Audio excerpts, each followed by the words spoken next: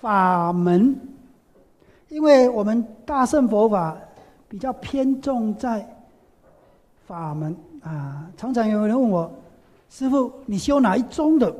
啊啊，禅宗、净土宗，你修哪一个法门？啊，地藏法门、观音法门、药师法门。好，那其实我发现大部分的人误解了法门啊。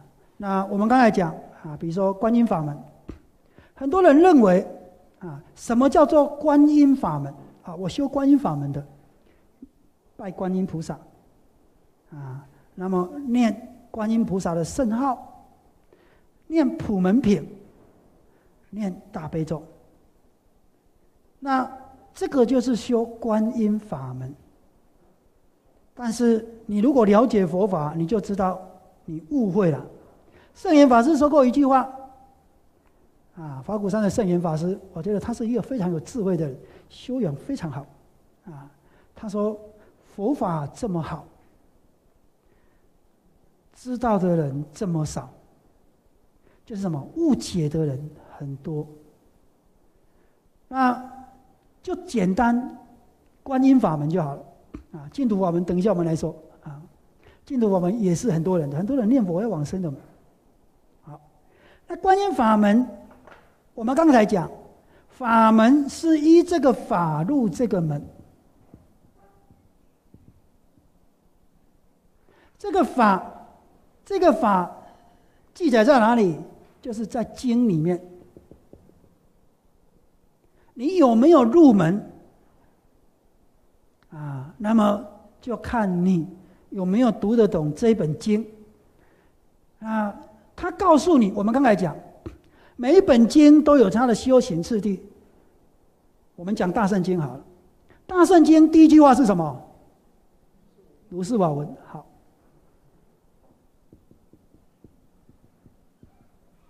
啊，如是法文啊，一时佛在十二中啊。那么，基本上最后一句是什么？啊，欢喜信受，依教奉行。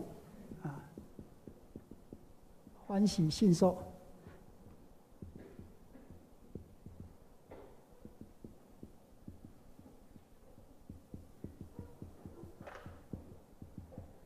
好，如是我闻，啊啊，意思我要这个，其实是古代他们用千宝之人去啊。那么，如果是阿含经啊，那么它基本上也会这样啊，就是比较早期的。如是我闻，啊，然后后面也是啊，欢喜信受，依教奉行。好，那如是我闻，然后讲完了啊，一时佛在舍卫国，其实故都业。那么佛开始讲话了，或是佛弟子开始讲，佛开始讲话了，讲了。佛讲了之后，他讲之前一定会这样讲啊。如是我闻之后，这个如是我闻是阿难的啊，说我是这样听的啊。那么前面是记载啊，那么佛要讲经之前，一定会有一句话。谛听，谛听，善思念之。好，仔细听，专心听。啊，那么听完了要怎么样？想清楚，想明白。啊，要要要想对，不要想不对。一样是佛说的话，佛说的法。为什么有些人听了马上证阿罗汉？有些人证三果，有些人证二果，有些人证出果。有些人什么果都没有，还起烦恼，啊，那这是为什么？听不都是一样听吗？不都是佛说的吗？佛佛难道会跟舍利佛讲的比较深，跟阿难讲的比较浅吗？大家都在这里听啊，话都是一样的，讲的人都是佛，话都是一样。那为什么有的正出果，有的正恶果？有的挣三果，有的挣四果，有的只知道回家吃水果。为什么？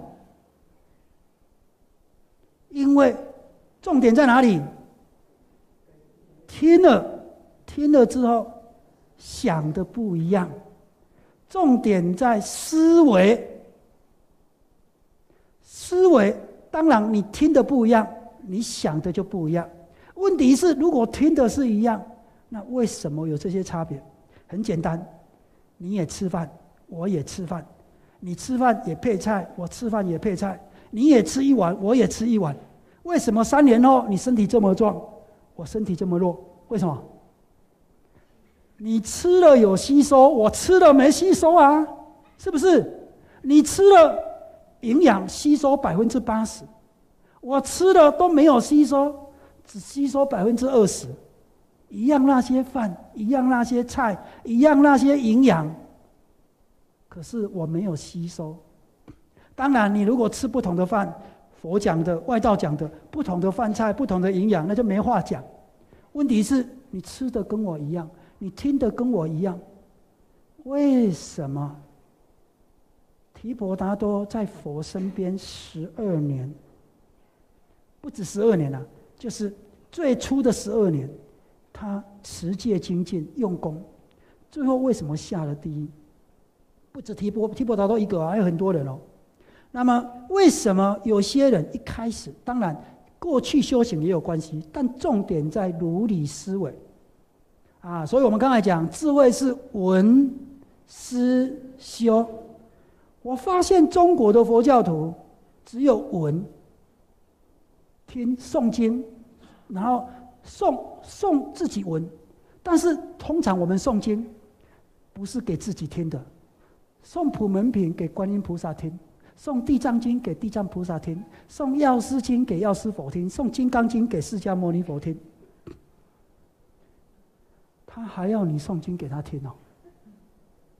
你是怎么样送普门品给普安音菩萨听？你要记得哦，你发的愿哦，我有痛苦你就要来救我哦，千处祈求千处应哦。我们好像是这样子，平常没事多念经，有事观音菩萨一叫就来，你以为他是宅急便哦？打电话送货就来哦，所以我们。我们对这个法门的定义错了。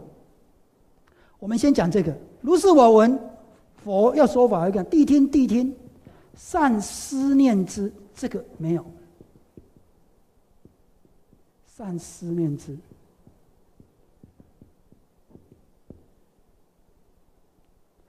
要讲经之前就跟你讲这个，这个是文，这个是修。好那么这中间就开始佛讲经了啊，看什么经不一定，看对什么人不一定。有时候讲世界升天之法，有时候讲五蕴无常无我苦空之法，有时候讲八正道，有时候讲缘起，不一定看人气理气机。好，那这个里面一定包含我们说修行的宗旨。刚才我们讲修行的宗旨，修行的次第，修行的方法。那这方法中一定有修行的次第，刚开始要怎么修，后来怎么修，然后怎么修，那么最后讲你这样修有什么功德，会得到什么好处？修行的功德一定有这三个：修行的宗旨就是原理，修行的方法，那么有修行的次第，然后最后才讲有修行的功德。那么最后欢喜就是什么？你听明白了。听明白了，欢喜信受。你听法喜，什么叫法喜？这个法入你的心，你欢喜。好，那么最后要怎么样？依教奉行。他既然告诉你修行的宗旨，比如说他可以让你离苦，比如说心经，他度一切苦厄，一开始就跟你讲，你用这个波的可以度一切苦厄，这个就是修行的宗旨。那心经修行的方法是什么？修行的方法是什么？照见五蕴皆空。五蕴是什么？色、受、想、行、识。那怎么照见啊？他这个就有方法了。然后后面要告诉你无我相、无人相啊，这个就是修行的方法。次第先去人我，然后再去法我。那这个这个我们后面再来说。我们大概先讲一下就好。好，那后面再跟你讲修行的功德。那么有一些讲的多，有一些讲的少。那么重点是，你听了之后，你要依教奉行，依这个次第，你回去就要这样做了。你的修行，真正的修行，不是你在面对菩萨的时候，不是你在诵经的时候，不是你在佛堂的时候，不是你脚盘起来的时候，是你在日常生活中面对一切人事物的时候，就好像。你在你在学校学数学，二加二等于四，四加四等于八，八加八等于十六，五乘以四等于二十。你学这些做什么？考试用的吗？考一百分然后拿奖状吗？没有。出来的时候买菜哦，这个四块，这个五块，这个夹块减的，你可以用的。好，那你学这些经做什么？学这些道理做什么？你可以用的，用在哪里？用在日常生活里，你想不清楚，听不清楚，考试可以考一百分，可是出来真正去买东西，找人家找错钱，你也不知道；人家多算钱，你也不知道。你数学考试都拿奖状，出来你都不及格。我们的佛法也是这样子啊。用不来，用不上，用不到。给谁用的？观音菩萨用的，不是你要用的。念给谁听的？念给观音菩萨听的。念大声，只是为了让他听清楚。你自己都不清不楚。是不是？是吗？不是我说你们吗？我以前也这样啊。拜忏呢？啊，我刚才这个法师说你们也有拜忏，拜水忏、拜大悲忏。拜忏也是中国佛教很流行的一个法门。等一下再讲，先把这个讲完了。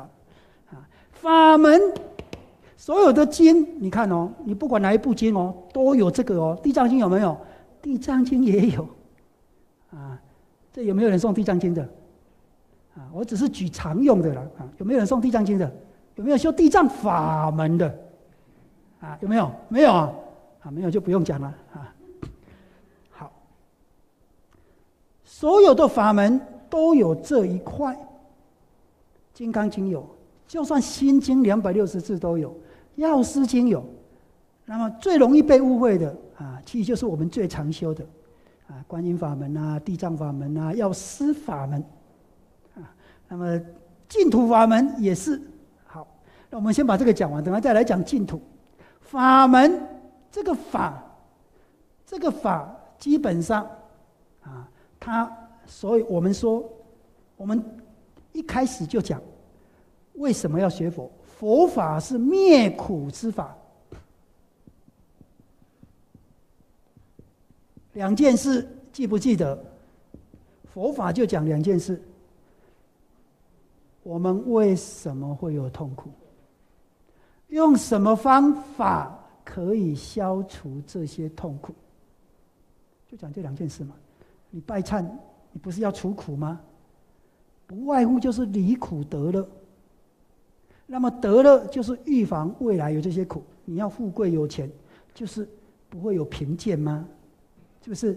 你希望有钱，就是不会穷吗？你希望身体健康，虽然现在还没生病，但希望我常常健康，就是未来不会有病吗？不外乎就是解决现前的痛苦，预防未来的痛苦，不就是这样吗？这个不就是我们学佛的目的吗？讲究竟了，就是能够超越生死轮回，永远不再受这些苦。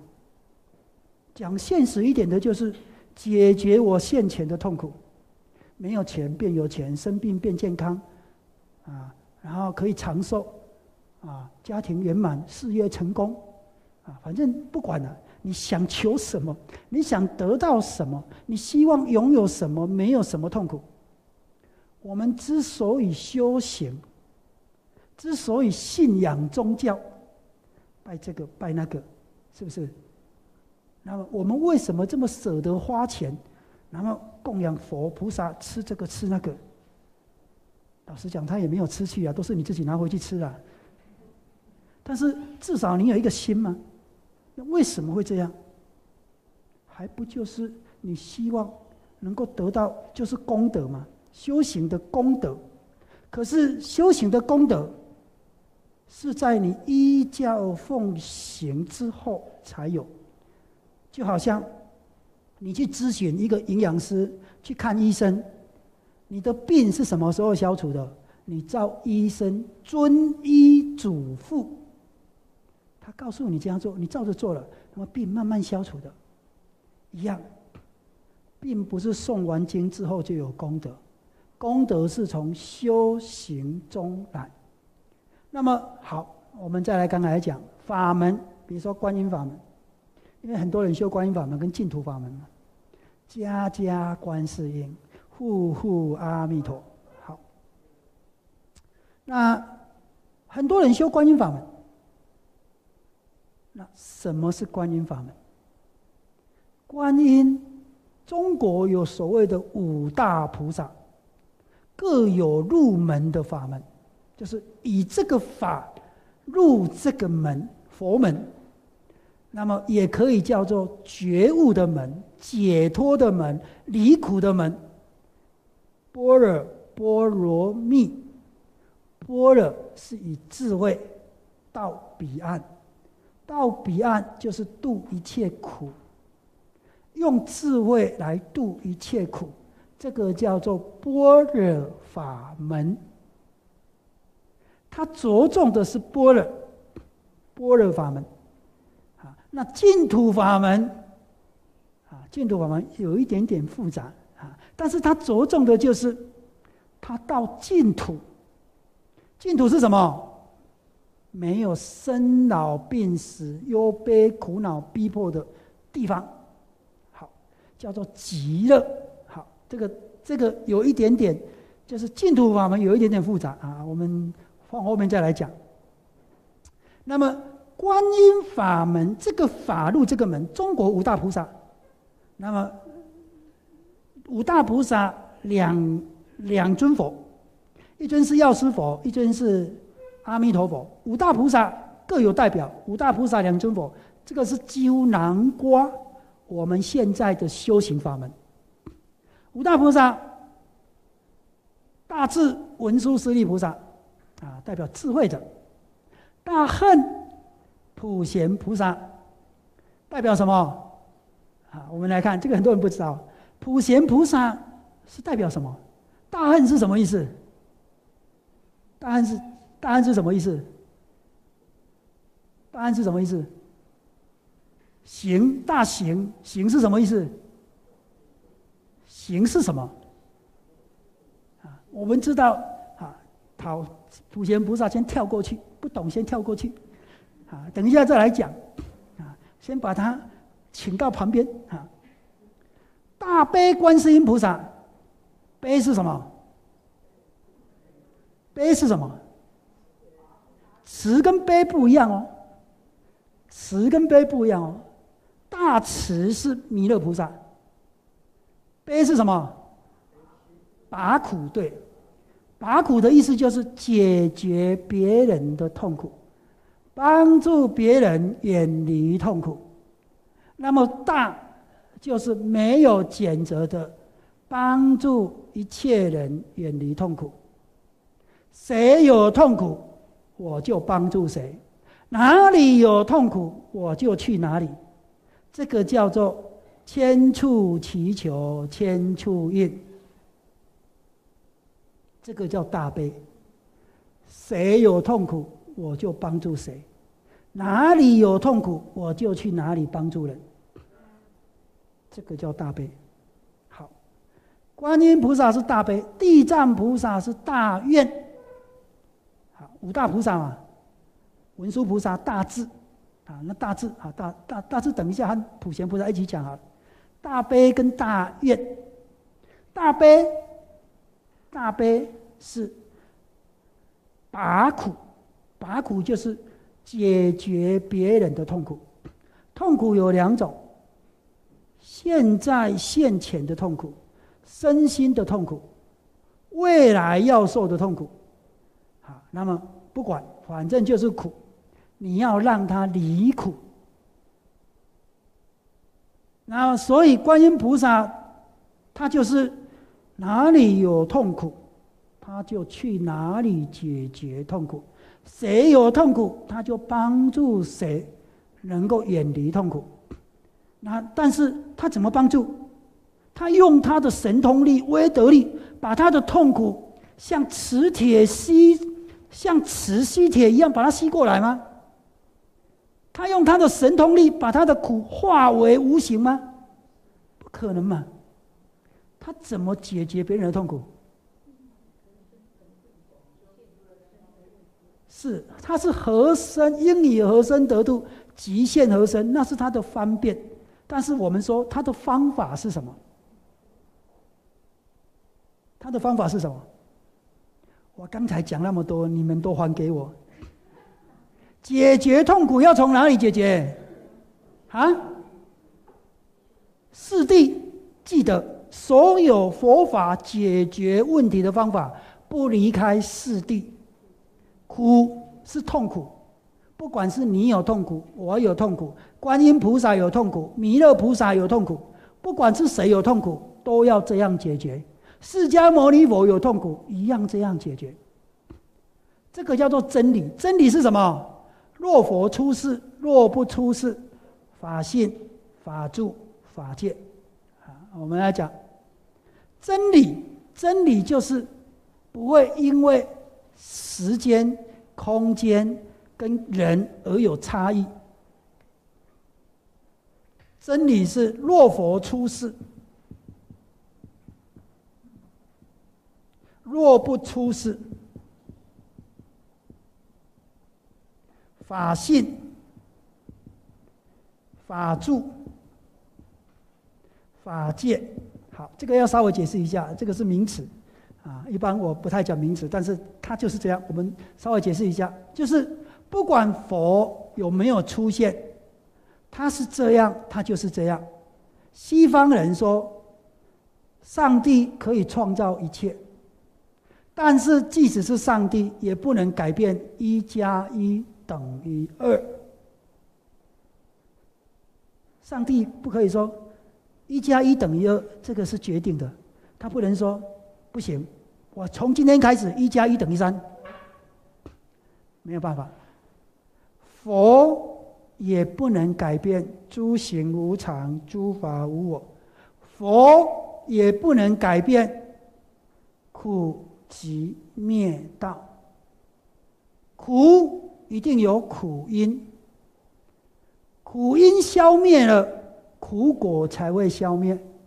佛不能改变说，你不用消灭苦因，你只要念我，我就把，因为你你起烦恼造恶业受苦果。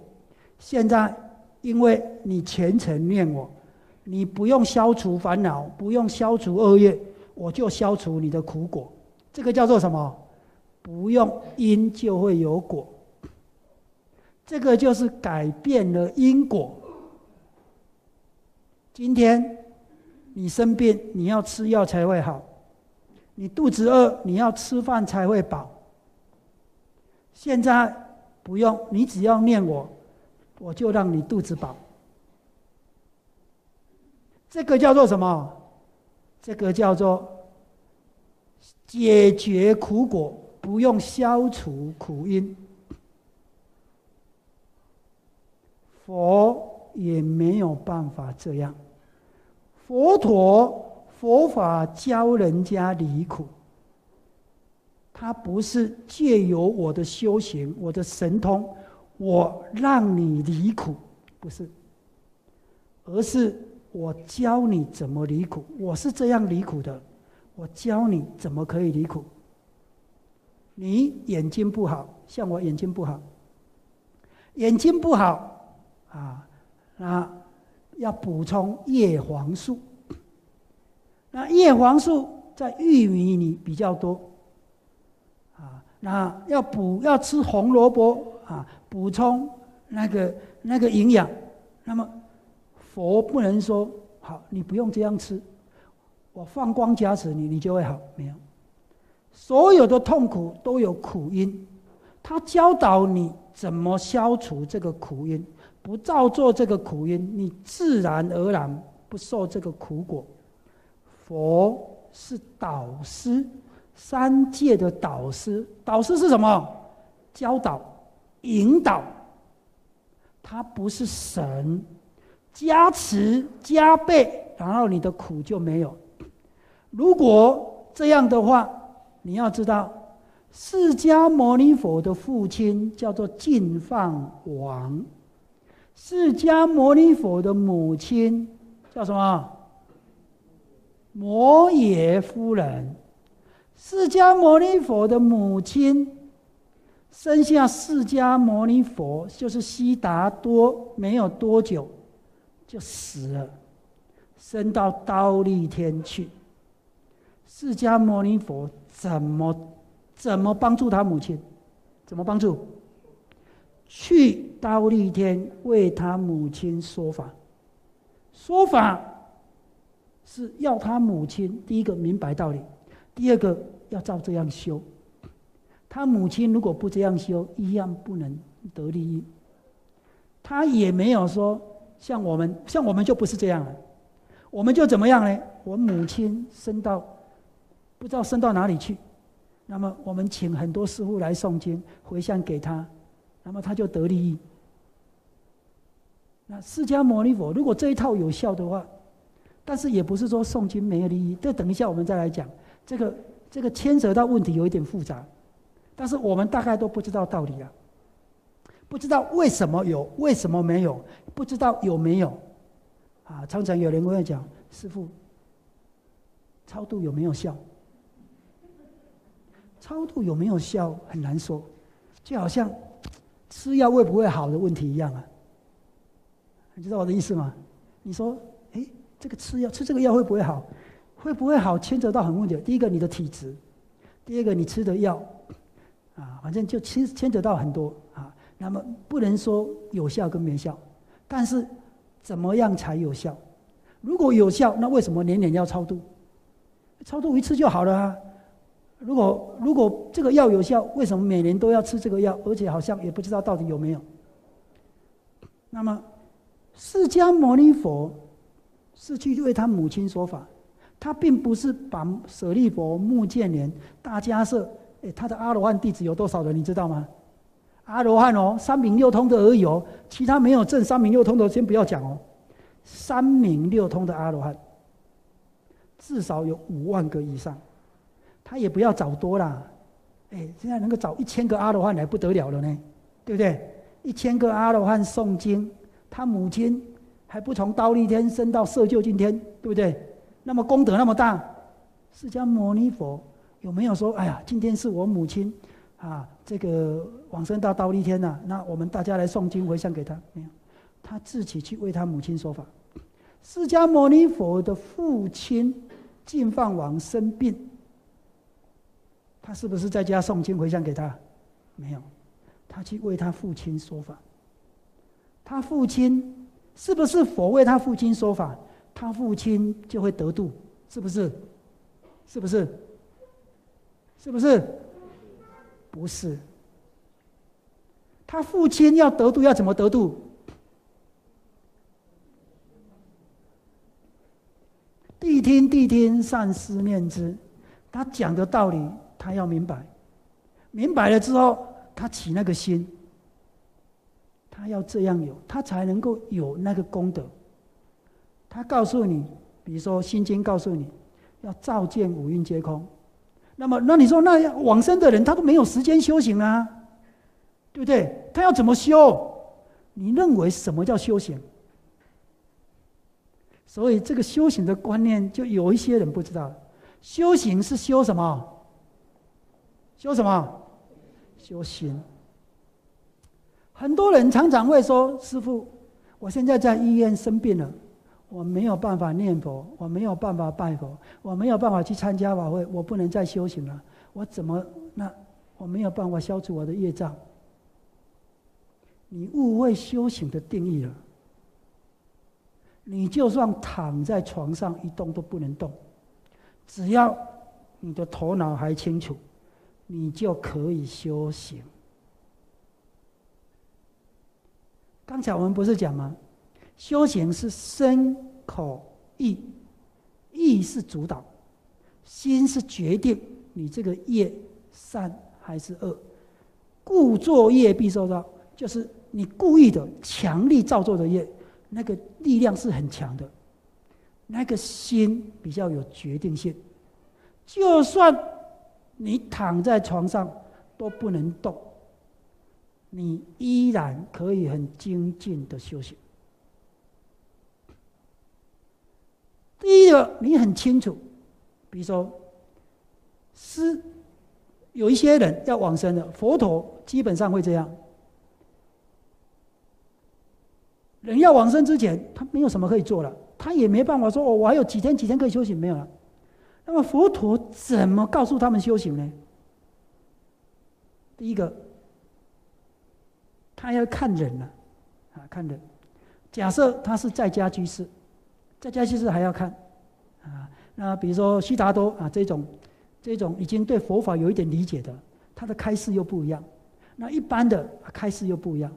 那一般的人呢，一般的人比较没有解脱心的人，那么或是平常比较没有那么力量在修行的人，就是平常比较没有用心在修行的人。好，那么这一类的人，佛陀比较会告诉他，你现在要意念什么？意念善法，你过去持戒，你过去的布施，啊，你过去的善行，念佛、念法、念僧、念事、念戒、念天，啊，就是你要想起你过去做了哪些好事，你不要告诉他啊怎样怎样怎样，但是他有些什么放不下的，啊，你叫他就是要告诉他啊，这个世间一切是无常的，你不要执着这个，啊，那么这一些都是幻化的。当然，最重要的就是要提起他的善念跟正念，啊，就是不会长、不会害怕、不会恐怖。你要相信，你过去所做的这些善业，它一定有力量，决定决定你未来会去哪里，是由你过去的善业、过去所造的跟现在这颗心决定你要去哪里。那。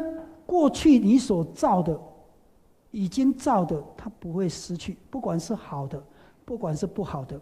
但是我们一生不可能都做好的，也不可能都做不好的。南东西安内我们都是这样嘛？好心做一点，坏心做一点，好话讲一些，坏话讲一些嘛，多少都会有了。但是佛教徒，好心出的比较多。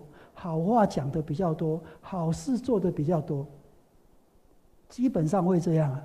好，那么从这里来看，你有这一个善业本来就比较多。佛陀讲，你一棵树往东边长，倒下了一定往东边倒。可是当你在往生的时候，或是当你在生病的时候，你会害怕，会恐怖。当下那个心也很有力量。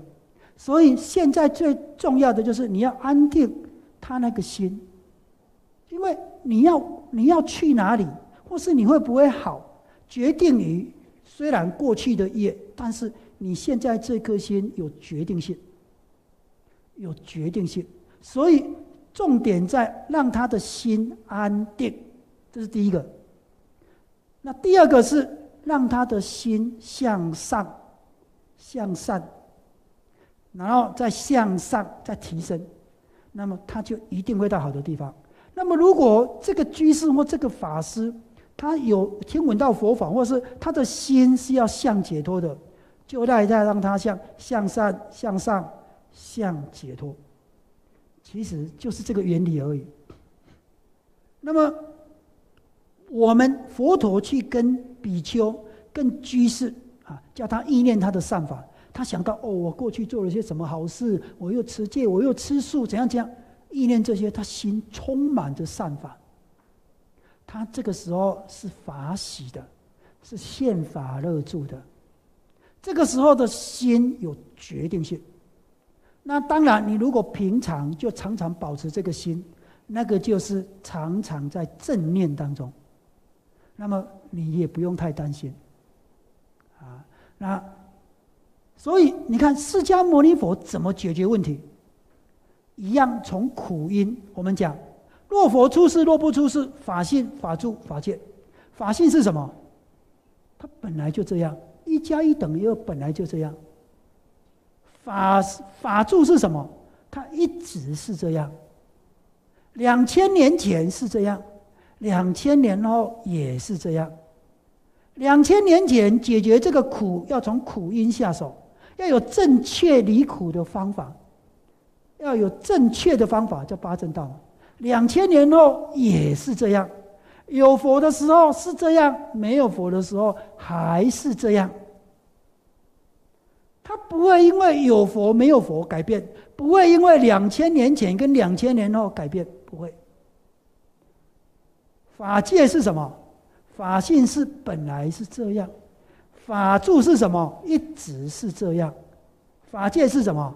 普遍是这样，它不会因为你是男的，你是女的，你是年轻的，你是年纪大的，你是有皈依的，你是没皈依的，你是国民党的，你是共产党的，不会因为这样，只要你掌握了正确的方法。那么你就可以解决掉这样的苦，就好像药，不管你是男的，不管是女的，啊，不管你的皮肤是黄的，是红的，是白的，只要这个病吃了这个药，它就会好。没有吃，你家再有钱，你的你是将军，你是皇帝，你是国王，不会好就是不会好。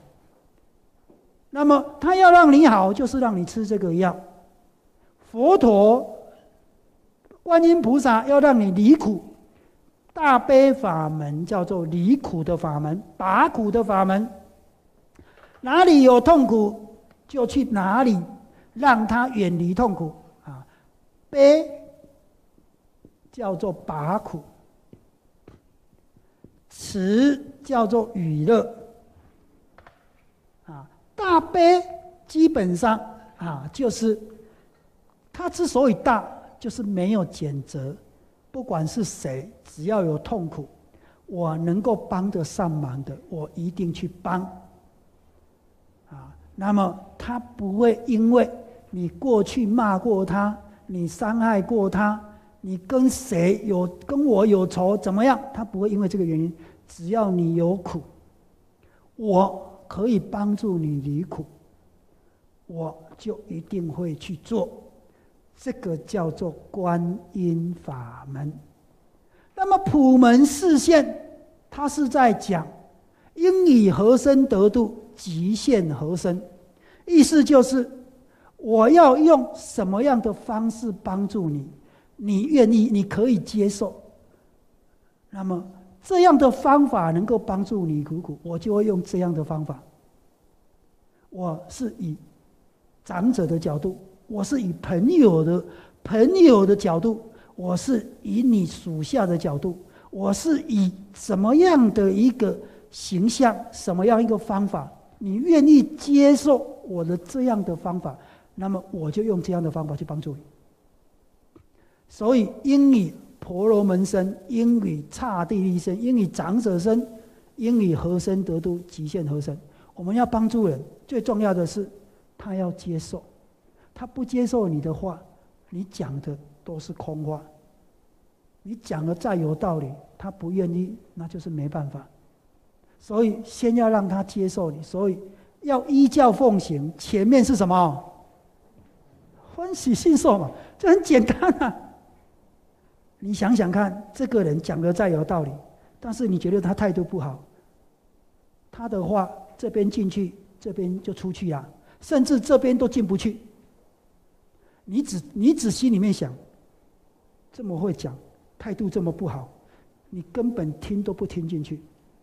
听进去了，你叫我这样做，我偏偏要这样做，他气有气，气死你，是不是？我告诉你没有用，你帮得了他吗？你是想帮他的，但是你的方式不对，你的态度不对，他不欢喜、不信受，他会依教奉行吗？不会。所以观音法门，所以菩萨要有方便。普门示现讲的是这个，因理何身得度？我们如果修观音法门，第一个，第一个，观音法门绝对不是你念大悲咒、念菩萨、念观音菩萨圣号。我们修观音法门是类似像我们我们这个我们这个加这个保险呢，万一有事，至少也有钱可以赔啦，啊，类似像这样啊。那我们念观音法门，通常都是万一有事，至少有一个人会来帮我了。啊，那就是念观音菩萨，至少他会来救我了，不是？观音菩萨、观音法门，不是有一天你受苦的时候，观音菩萨会来救你，不是这样，而是你像观音菩萨一样，谁有痛苦，闻声就是你听到谁有痛苦，你就。大悲心起来，要去帮助那个人离苦，想尽办法要帮助这个人远离痛苦。你如果有这种心，你这种心从哪里知道？从普门品里面知道。哦，人家观音菩萨是这么修的，所以他成就这样的殊胜功德。那我要像观音菩萨有这样的功德，我也要这样修。人家是这样训练的，所以他有这样的成就；人家是这样勤劳刻苦的，所以他有这样的成就。哦，那我也要这样。其实是这样。那我们因为受到世间错误的影响，所以我们把佛教，因为神教是这样的嘛？神教是什么？你的福报是天赐的。天官赐福，福报是天人赐给你的。那你有灾难呢？天上的神看你不顺眼了，惩罚你的。所以怎么消除灾难？祈求上天把灾难收回去。怎么获得福报？祈求上天把福报降给我。我们受到了这个影响。所以，我们现在学佛也这样，祈求观音菩萨给我大悲心，祈求文殊菩萨给我大智慧。那么，祈求观音菩萨解决掉我的痛苦，祈求文殊菩萨用你的智慧斩断我的烦恼，不就是这样？你真的在学佛吗？佛的定义是什么？觉，佛陀就是觉悟的人，觉者。佛陀的意思就是觉者，觉是觉什么？觉悟到什么？觉悟的人觉悟到什么？觉悟到什么？啊？觉悟到什么？没关系，你们尽量讲。觉悟到真理。觉悟到真理啊，就是如来，就是趁如实之道而来嘛。觉悟到真理的人，叫做正觉嘛。阿耨多罗三藐三菩提，无上正等正觉啊。正觉就是觉悟到真理的人。真理是什么？好，我们来看哦，这个也是真理啊。真理若佛出世，若不出世，法性法出法界。但真理是什么？真理是不会改变，不会因为时间，在美国，在中国，在外太空，在其他的世界，这样就是这样。如是因就如是果，苦集灭道，苦一定要消除苦因，苦果才会消除。一定要有灭苦之道，才能灭苦。这个没有办法改变。那么，我们解决问题的方式，必须要按照四谛来。那么，我们讲什么是真理？简单的讲，佛好，佛佛陀是觉者，觉悟真理的人啊。我们看哦，很多人其实都不知道哦，佛陀的意思不大不大。他是觉者的意思，觉者，这个觉就是觉悟真理的人啊，觉悟真理的人。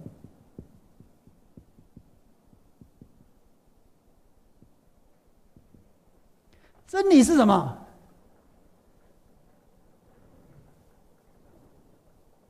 真理，简单讲两个字，叫做缘起。所以见缘起即见法，见法即见佛。我们常常讲，以前我刚学佛的时候，我刚学佛的时候，那么我早上不是读华严经吗？晚上读法华经。好，那华严经里面讲。啊，佛啊，在菩提树下夜睹明心悟道，看到流星吗？那悟道吗？奇哉奇哉！一切众生皆具如来智慧德性，只因妄想而不正得。好，佛陀，佛陀在菩提树下，你们有没有好奇？佛陀在菩提树下到底是看到什么？我记得，我记得这个，嘿，哎，现在那个妙禅。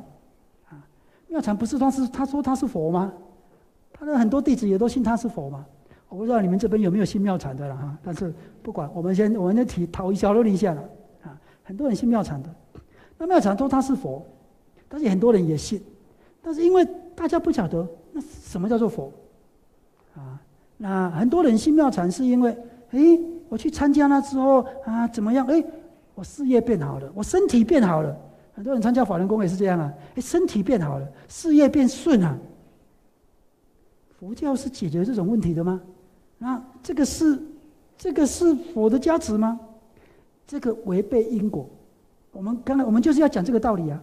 好，那么这个妙禅说他是佛，我记得了，我不知道哪里看的。他说，他说，因为他有一天做梦，梦见流星。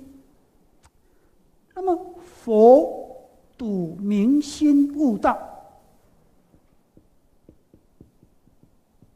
佛看见流星，啊，明星其实就是流星了啊，看见流星。佛在菩提树下的时候，一道流星划过，佛就成佛了。我也看过流星啊，你们有没有人看过流星的？有吗？有没有悟道？悟到什么？悟到什么？啊佛睹明星悟道，成佛难道是因为看见流星吗？那那，但是他不是看见流星悟道的吗？好，那佛是到底是看见什么？看见什么才成佛的？佛之所以成为佛，那是因为我们之所以叫他是佛，佛是佛陀的简称呐，因为中国人都喜欢简称嘛，所以。佛法僧三个字，其实它都是两个字：佛陀、达摩、僧伽。那我们就简单啊，佛法僧。那菩萨其实是菩提萨埵四个字，四个字的就简成两个字，叫做菩萨；两个字的就简成一个字啊。基本上我们是这样的啦。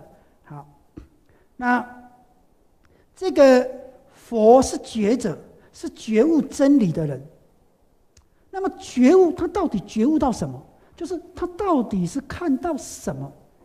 不可能看见流星就成佛了，看见流星成佛，那是世界佛多的事啊，对不对？我也看过流星啊，我记得那个几十年前那个什么哈雷彗星有没有？好像三十年前的，我三四十年前的。那么哈雷彗星说要从台湾，我们那个时候那个时候还然后还没出家，我出家三十年而已，那三四十年前的那个很久很久的，啊，那个我还跑去那个海边呢。呃，屏东的海边要去看流星，好，整整夜好一大群人，不是我而已啊，好多人都在那边等着看流星，结果那流星也没出现。但平常也会看见流星呢，可是我们看见流星都会怎么样？许愿，有没有？听说看见流星许愿就特别能成，人家佛陀看见流星是觉悟，哎，不一样啊。我们看见流星，我们会怎么想？哎呀，流星，赶快许愿啊！那。佛陀不是，所以一个现象，一个现象背后有它如此形成的原因。痛苦也是一种现象，快乐也是一种现象，生命也是一种现象，烦恼也是一种现象。解脱也是一种现象。好，那我们回头过来看，佛陀菩提树下晚上夜睹明星，他到底是觉悟到什么？觉悟到什么？觉悟到什么？刚才不是有讲吗？缘起。好，这个很重要哦。所以你看哦，舍利佛怎么证阿罗汉的？舍利佛怎么证阿罗汉的？啊，见缘起的嘛。舍利佛怎么见缘起的？他有一天看见那个马胜比丘，马胜比丘是五比丘之一哦。五比丘第一个解脱的是。阿诺乔成如，第最后一个解脱的就是马胜比丘，啊，有时候叫阿说士。马胜比丘的威仪非常好，啊，他走路的威威仪可以摄受人哦，声音好，威仪好都可以摄受人，啊，当时如果舍利佛看见的是我，他可能就不可能都解脱了，啊，我威仪不太好，老实讲，我威仪不是那么好，啊，走威仪很好，你看他走路，哎呀，那个那个走路他不不随便看的，然后然后他他走路那个威仪啊。他非常好，那么马胜比丘看见远远看见那个人，那个时候佛教还不兴盛哦，只有五比丘而已哦，人家还不知道世间已经有佛，不知道哦，然后所以这舍利佛目犍连当时就很厉害的哦，当时底下就有两百五十个弟子了呢，哎，一个人底下有两百五十个弟子，他不是普通人呢。不要说两百五十个人啦，我在台湾哦，底下只要有五十个徒弟哦，那个人就很厉害了，真的，我告诉你，那个人就很厉害了啦。啊，舍利佛底下有两百五十个弟子呢，当然他在那个善若仪的底下，六师外道里面一个善若仪，善若仪也不是泛泛之辈呢，而且他已经出家了，舍利佛、目犍连都已经出家了，啊，然后。舍利佛出来，看见远远看见马胜比丘，哇，这个人不是普通人。为什么？看他走路的方式就知道他不是普通人。为什么？他走路威仪非常好，气定神闲。那个时候，那个时候其实马胜比丘已经证阿罗汉了。但是即使是证阿罗汉，有一些阿罗汉，有一些阿罗汉也会给人家回谤哦。为什么？习气嘛。啊，啊，有些跳来跳去的，啊，有些吃饭像那个敲碗波底，饭吃一吃又吐出来又吃进去的，哦，这个连到就算我看到我也要讲他两句啦。哎，出家人这个成何体统？哈，就这个这样能看吗？啊，我本来吃进去的，因为你吐出来，吐出来就不要再吃了嘛，他又吃进去。我们吃进去的都会吐出来了，真的。所以佛陀告诉他，你不要在人间，会被人间诽谤。佛陀有两个弟子，一个是佛陀叫他不要离开人间，要在人间给人间种福田。谁啊？谁啊？宾陀鲁婆罗多。我们斋生不是都会请他吗？啊，他他是唯一佛弟子到现在还在的人，唯一一个，没有了。啊，有些人都大家社也在不在，就只有他，唯一还在人间。啊，他用神通力，他可以延长寿命，道家也可以了。啊他是唯一一个，那有一个佛陀叫他一直要在人间给人间种福田，有一个佛陀叫他不可以在人间，因为你这样世间的人没有没有那一个没有那一个天眼不知道你是圣者，这个你这样东西吃一吃吐出来又吃进去，谁看到了他都会嫌弃你嘛。可是回谤阿罗汉不是一件好事啊。佛陀，你不要在人间，你到天上去接受天人供养。哎，天人吃的跟我们不一样啊，比较细，就算他吐出来也没那么脏啦。何况天人有天眼知道是阿罗汉。我告诉你，如果你已经知道他是阿罗汉，就算他吐出来，你也不敢讲他了，也不敢嫌弃他了。为什么？哎，你那个心是非常恭敬他的。可是，一般的哪里知道？哎，这什么出家人？那叫胎哥，那怎么这么脏？怎么这么没卫生？啊，怎么这么没教养？我告诉你，你骂越多哈，你以后越麻烦。所以我说不要随便骂啊。那个佛陀就你不要留在人间，你到天上去，给天人供养。一个在人间给人间送福田，一个在天上给人间天人做供养。不过交换波体在佛陀露面的时候就露面了，啊，大家是不是要结集经典吗？第一个想到的就是交换波体，哎交换波体佛到他交换到天上去嘛，他请了一个有神通的阿罗汉去刀立天请他，这平常都没有人人去找他，忽然间这么久人找他，他第一个就想到是不是世尊发生什么事了？兄弟姐妹平常没在联络，忽然间联络了，是不是爸爸妈妈有什么事啊？我这一样就是这个道理嘛。他说是的，啊，佛陀露面了，那舍利佛目见了呢，也露面了。啊，那他们都露面了，那我也要露面了，就露面了。大家是要找他来结集经典，啊，就露面了。好，那这个是交换波，就是说他有一些有一些习气也没那么好了，啊，所以不是不是阿罗汉。你看起来都是哦，那都很好的，没有有一些有一些有一些过去的习气。那我们要说的是，舍利佛看见马圣比丘，这个马圣比丘我已可以摄受人了。舍利佛不是普通人啊，他是看见这个，他就走过去问这个马圣比丘，他说：“请问尊者，印度人是这样的了，因为印度人重传承。你要你要知道，释迦牟尼佛成佛的时候几岁？几岁？”三十五岁，他有没有有没有老师教他成佛的？他有没有老师？有，他有两个禅定的老师。他刚出家的时候，其实是去一个一开始去王舍城那边，然后见到阿罗罗迦兰，然后后来去到毗舍离那边见塔婆罗摩罗子，从他那边修习禅定。啊，一开始修禅定。得无所有处定跟非想非非想定，后来发现单单修定心不起，没有断烦恼根本，不能解脱。后来改修苦行，修六年的苦行。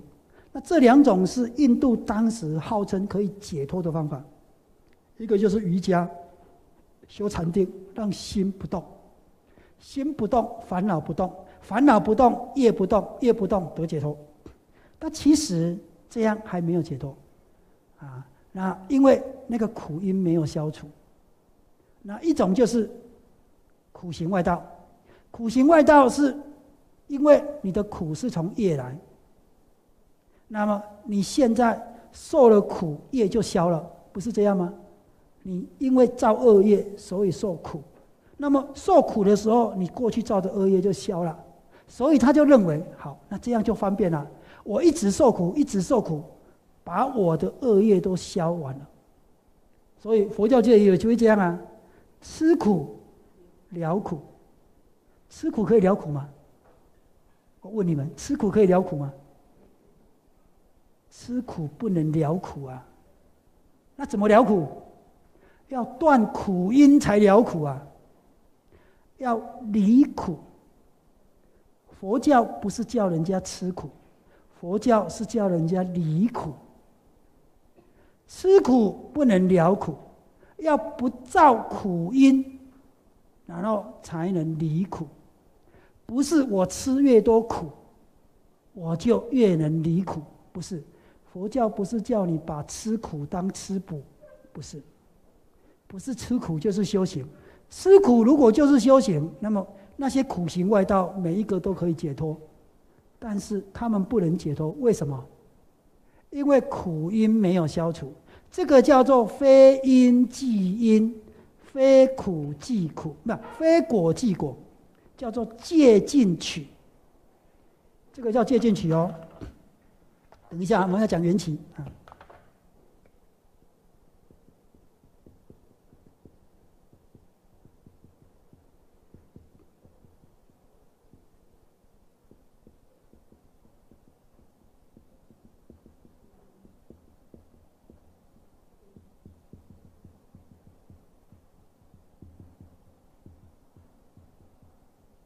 就是你这样做，并不能解决这样的问题，你却以为这样做就可以解决这样的问题。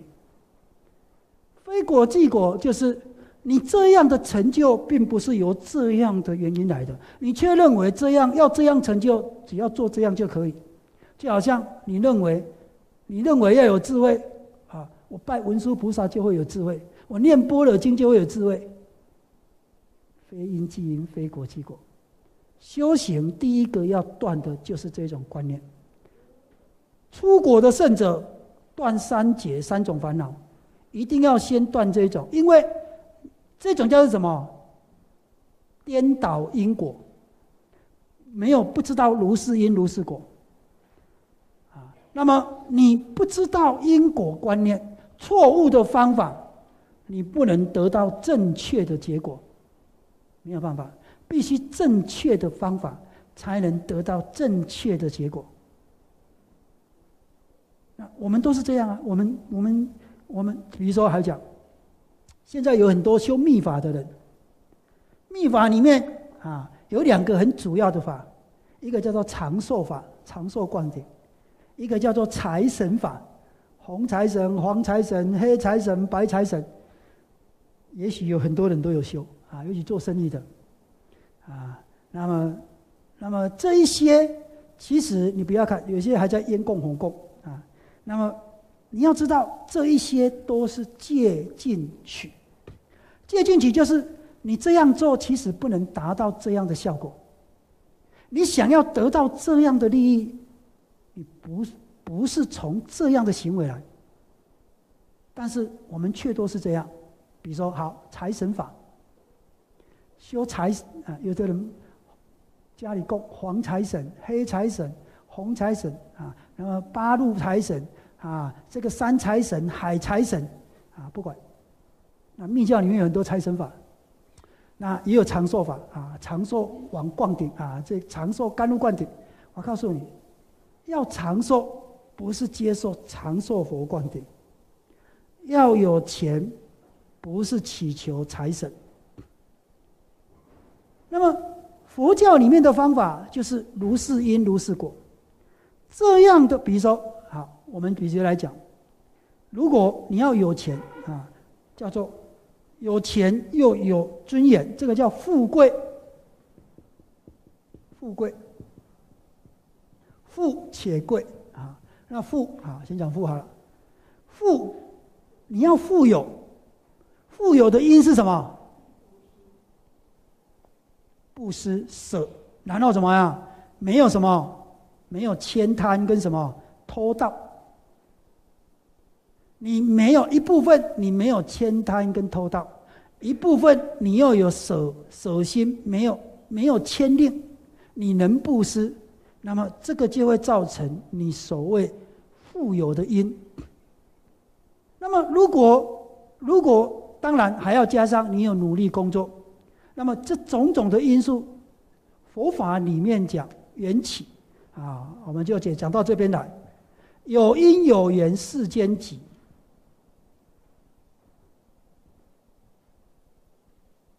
世间起，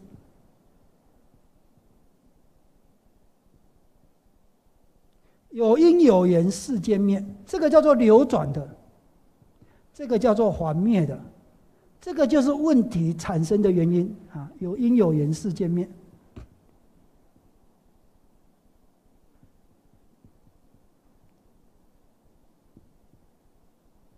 好，释迦牟尼佛在菩提树下看到什么？看到缘起。舍利佛看见马胜比丘，他问：“你师父？”都，你师父是谁？因为印度人很重传承，印度人很重传承，所以第一个要问你师父是谁。佛陀刚成佛的时候，其实他见到一个外道，叫做优陀还是叫什么忘了啊？就是见到一个年轻人，易学。那么释迦牟尼佛那个时候从菩提树下，菩提伽亚要走去鹿野苑，然后要去度五比丘。半路上遇到一个年轻人，修行人。他是第一个见佛的修行人，但是他没有解脱，他也没有成就。为什么？见佛很殊胜啊，啊，因为印度人习惯这样问。哎，他也是，他他他就像舍利佛看见马胜比丘一样，马胜比丘的威仪很好，对不对？舍佛陀的威仪更好，佛陀的威仪超越马圣比丘，而且那个龙冠放发，三十二相，八十种好，八十种好就是威仪啊，啊，转身走路啊，一笑啊，那那这个这个是八十种好，佛陀威仪更厉害，这个这个这个这个外道。那个时候也没有什么外道不外道啊，大家都只有佛教还没有还没有流行啊。佛陀刚成佛，那么那个那个修行人年轻人看到佛陀，因为一个人哈一个人的外表跟他的威仪，可以其实他有相当的分量。佛陀的威仪非常好，他走路的时候，这个年轻人看到看到这个佛陀，佛陀那个时候成佛才三十五岁。啊，我三十五岁，我刚在读佛研读研究所，我甚至还在读大般若经，希望得到智慧。啊，还没有智慧。这个佛陀成佛才三十五岁。今天不要说不要说那个优不要说那个优陀那个那个外道了。今天即使我在路上看见佛陀，啊，你这么年轻又没有师傅，他问你，他问他嘛。哎因为他第一个句话就会问你师傅是谁？佛陀跟他讲，哎，因为他看见佛陀，那个那个身心啊，啊，那个庄严啊，那个威仪啊，不一样啊。哎，请问，请问你师傅是谁？佛陀，佛陀禅定有师傅，成佛没有师傅，他是自己觉悟的，他叫做创觉自觉自己觉的，佛弟子都是因为佛陀觉悟。但是佛陀自己觉悟的，他的师傅教他禅定，但这是他师傅没有教他怎么觉悟。他两个禅定老师，他苦行是自己选择一个苦行法，大家一起在那边修行的，啊，所以，他问你师傅是谁？我没有师傅，我已经成成佛了。他看他那么年轻，这么年轻，没有名号，因为很有成就的都是那些修行很久的嘛，名声流传很大的嘛。没有徒弟，没有师傅，他旁边也没有徒弟啊。那个时候还没有啊，啊，那有大成就的旁边都跟着一群人啊。他旁边没有徒弟，也没有师傅，这么年轻，说你成佛，如果是你，我那个时候在想啊，哎呀，也不能怪他。如果是我，我也不信啊，真的，啊，对不对？没有师傅，也没有徒弟，三十五岁。说你成佛又没有名声，从来没听过你这个名号。你说你已经成等正觉，我那个时候在想，如果是如果是我，老实讲，我也不信了。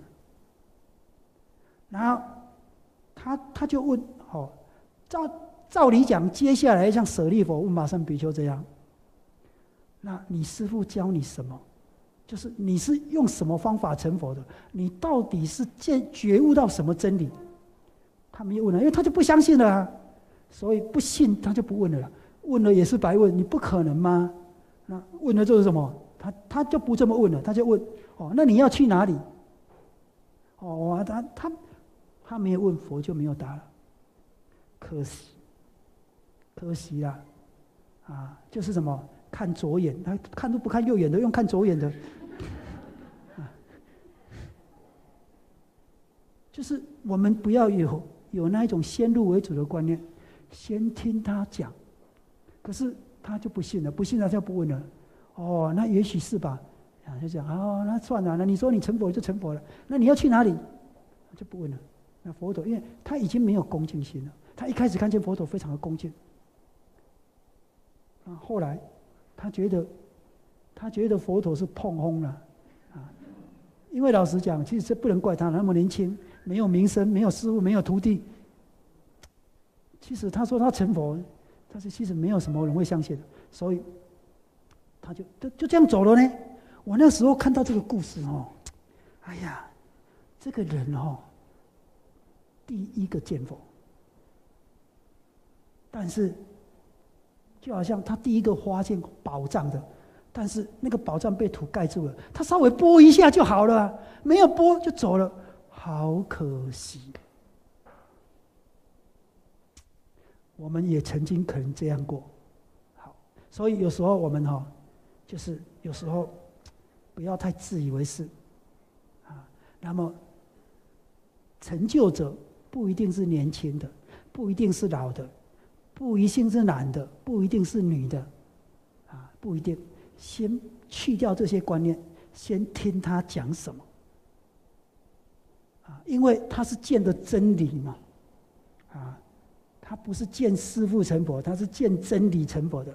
那么即使是佛弟子。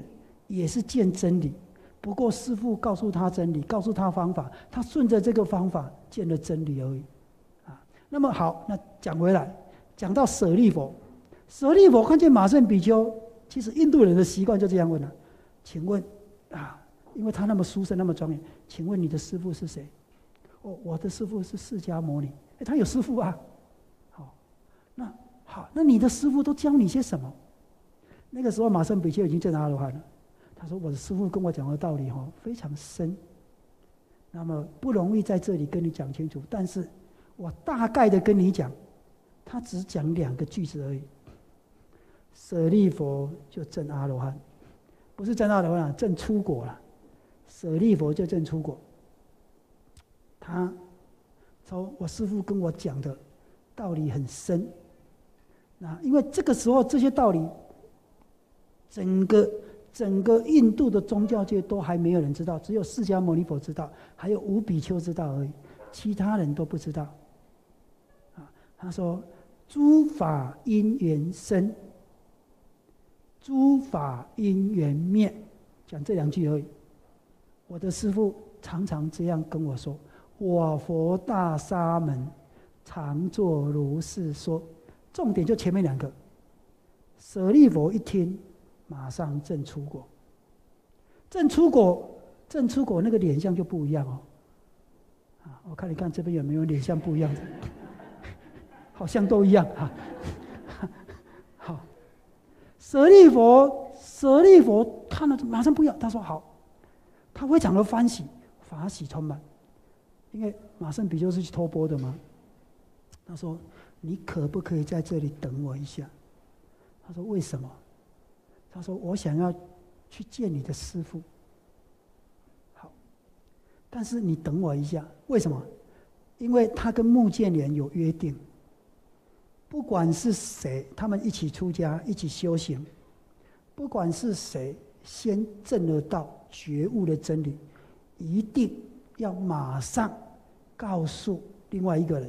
如果穆建连先见得真理了，一定要马上告见告诉舍利佛。”舍利佛如果见了真理，一定要马上告诉目犍人，他们两个是有约定的。所以目舍利佛他们两个非常好，他们是世家，他们两个都是贵族世家，啊，不过我们后来受了这一些影响，认为目犍人的妈妈啊堕轨道啦，啊悭贪呐、杀生呐，其实不是，目犍人的妈妈也是大家闺秀，叫做穆建利，啊，她其实不是。啊，我们是因为受了这个哎，共生的那个叫做盂兰盆经的影响，啊，穆建林的妈妈因为小气、悭贪、邪见，所以堕恶道、堕恶鬼道。那目犍连要去证了阿罗汉啊，然后这个要去度他妈，看他妈妈堕入鬼道啊，要东西给他吃，吃不进去，很可怜啊，就去请教佛。我们是受了这个叫做盂兰盆经的影响，那其实不是这样，事实不是这样啊。那这个穆建连的妈妈其实是大家，他们是贵族世家，他们都是婆罗门种的，啊，是贵族世家，两个是叫做书香世家了。那两个家族都很好，那两个有约定，两个一起出家，感情很好。所以后来穆建连被打死，舍利佛要入涅盘，啊，就是这样。那他因为见到之后，他马上就说：“你在这里等我一下，因为他要马上去见释迦牟尼佛。”可是他一定要找穆建连去。那他已经正果的，正出国，那时候正出国而已。那么他见就见法了，就见缘起了。啊，等一下我们来讲，它到底是缘起，缘起是什么啊？我们再再解释清楚。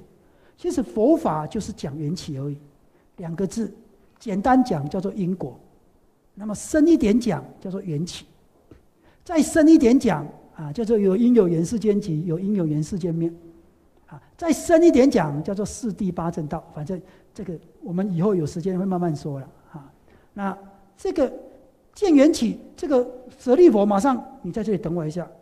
那么我等一下跟你一起见你师傅啊。马上你就在那边等，他马上跑回去，也不是用跑的啦啊，他就是马上走回去。那么穆建连在他师傅那里，善若仪那里，他的师傅叫善若仪。然后他看见舍利佛远远的走来，脸色完全不一样，他就知道舍利佛见法了。你看真厉害，啊，这这个神情不太一样，而且他那个走路那个不一样。好，那么穆建连一看到舍利佛，他就说：“你是不是已经见到真理了？”我说：“是。”好，那你赶快告诉我。舍利佛跟穆建连讲。啊，就是大概讲了一下，诸法因缘生，诸法因缘灭。建连也证出过，真厉害！我那时候在想，我都听了几百次了，讲也讲了几百次了，怎么怎么我一点动静都没有？到底是到底是怎么震的哈？啊，那么当然这个这个其实也是有因有缘的，这个我我们也慢慢再来讲。那为什么有一些人听了就知道？有一些人听了无动于衷，啊，那么这个其实还是有因有缘，啊，还是有因有缘哦，啊，那这个我们再慢慢讲，就是说，因为你烦恼烦烦恼覆盖的不太一样，啊，那如果你烦恼覆盖的比较重，像这个桌子，如果你只是上面一个灰尘而已，我一个鸡毛毯子就可以怎么样把烦恼拿掉了。如果你前面是一个水泥，那就不是了哦，啊，如果你是一层土，那又不是了哦，啊，你一个你一个你这样抹抹不掉哦，啊，因为底下都是光明的嘛，那你上面你上面这个是一个一个灰尘而已，抹掉光明就出现了，可是你上面如果是一条毛巾，那就不是抹掉了，要把拿毛巾拿掉；如果是水泥，要把水泥拿掉；如果是一个盒子，要把那个盒子拿掉。其实是这样的，但是我们大概上面盖的东西都太多了，太重了，所以要一层一层去掉，一层一层去掉。我们现在在做这种工作，啊，但是现在麻烦的是，你又不去掉灰尘，又一层一层的盖上去。我们现在哦，邪见一层一层的盖上去，平常诵经念佛，但是烦恼一层一层的盖上去，还以为这样可以一层一层去掉，没有。你你没有在扫灰尘，你一直在增加灰尘，你没有去除掉上面盖的布，还一条一条布盖上去，就是增长邪见了。想一想，你想一想，因为我们刚才讲，比如说好，你要你要富贵，佛陀讲因果，因果如是因如是果。你如果要有钱，你不是拜财神就有钱，财神法啊，这个是很多很多佛教徒都有了。啊，财神法并不是你拜财神，这个就牵涉到法的概念。财神法，那么他为什么叫财神？我们说过，这个跟观音法门一样哦。啊，跟观音法门一样，你要知道，观音菩萨所以具有这样的能力、这样功德，是因为他有那样的修行、那样的心。财神法。并不是你求财神给你钱，观音法门并不是你求观音菩萨帮你离苦，一样，观音法门是你学习观音菩萨怎么帮别人离苦。财神之所以财神，是因为他一有钱，他能舍，是不是？他能舍，谁需要就给谁，帮助那一些需要的人。三次。赚了钱都舍给贫苦大众，但是他越给他越有，所以大家封为他财神。那你真的想让他，你你要像他一样有钱，你不是希望他把钱分给你，不是。他之所以有钱，是因为他有量，有没有？量？什么叫做量？我们常常说有量则有福，量大就福大，有没有？什么叫量？什么叫量？怎么样说这个人有量？怎么样说这个人有量？第一个，他能舍，是不是？他有的能舍，不一定是钱。他有智慧，他愿意帮助别人；有能力，愿意帮助别人；有力量，愿意拿来帮助别人；有技术，愿意拿来帮助别人。这个叫做有量，叫做能舍。布施不过是能舍的一种方法而已。好，那么一种就是人家伤害过他，人家对不起他，他能够原谅别人，这种也叫做有量，是不是？这两种有量，这个人很有量，不会计较，所以。你不会计较别人对你的伤害，而愿意把自己所拥有的来帮助别人。我告诉你，你这个法门就是财神法门，你就会像财神一样有钱，因为你有量，有量就有福，而不是我念财神、拜财神，那么财神就把钱分给我。这个一样，我们修行都是这种观念。我念观音、拜观音，观音菩萨的力量很大，他就会帮助我离苦，不是这样。他是他是什么原因成为财神的？因为他的心量大。那么观音菩萨是怎么成为观音菩萨的？因为一样，他他自己努力，只是为了要帮助众生离苦。所以你学习这个，你拜观音。要跟观音学，你是要学菩萨，不是求菩萨；你是要学财神，不是求财神。功德是怎么来的？修来的，不是求来的。不管你这个功德是富贵、是智慧，还是解脱，都是修来的。怎么修？看人家怎么修嘛，就学着怎么修嘛，而不是看人家那么富有，祈祈求他分一些给我。我们都是这种心态，不是吗？你不是说祈求菩萨分他的功德给你吗？不对，我告诉你，你如果这种心态修行哦，修到死你都不晓得你在修些什么，没什么功德，真的，我告诉你。你你你都不晓得，以后就算就好像很多人认为杀牛杀羊，印度很多人认为这样啊，有钱的没钱杀一头羊，有钱杀一百头牛，做什么祭神？祭神做什么？神会分我一些功德，会把福报赐给我。佛陀说，这种行为啊，福无戒指。福报没有像一颗戒指那么大，罪如须弥，罪恶像须弥山那么大。可是他一直虔诚相信，哦，我奉献，我杀牛杀羊祭神，他神啊，因为得到我这些供养，他把福报给我。做的越多，造的业越重，福无戒指，罪如须弥。你看，冤枉啊！我告诉大家哦，很多佛教徒也这样，不是造恶业，增长愚痴，这个已经很厚了，又盖很多布，又盖水泥，又把它涂黑，什么时候可以解脱啊？